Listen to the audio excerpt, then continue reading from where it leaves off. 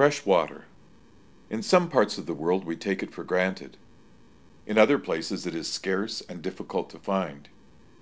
Each day, by the time we have washed, brushed, flushed, and eaten, we have used more water than the average rural African family uses in several days. And all that water, ready to drink, is available to us at the turn of a tap.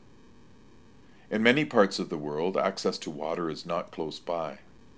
Usually it is the women or girls who must walk several kilometers to a muddy river or pond to wash clothes and fill their containers with water to carry home.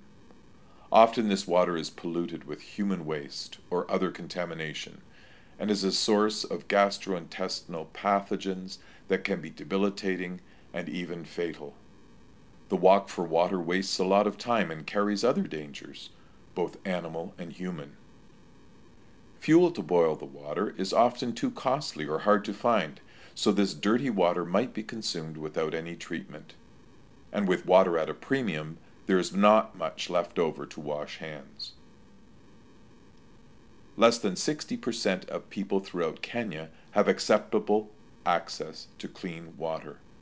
Access to adequate sanitation is even less.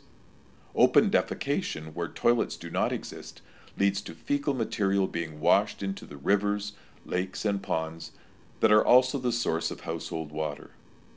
Children attend schools where the latrines are full and dirty and no hand washing facilities exist.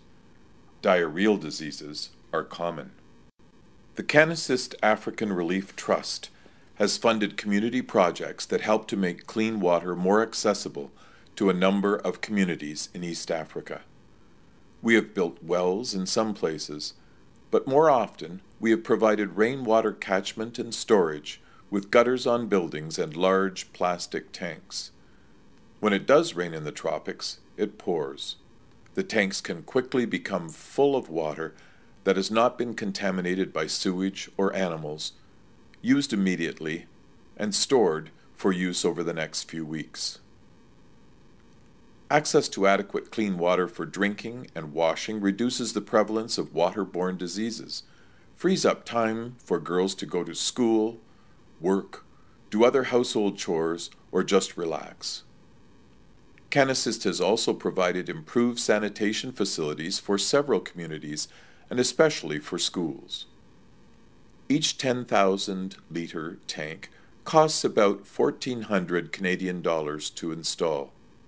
Your donation to CanAssist will help our ongoing efforts to improve access to clean water and sanitation facilities in East African communities.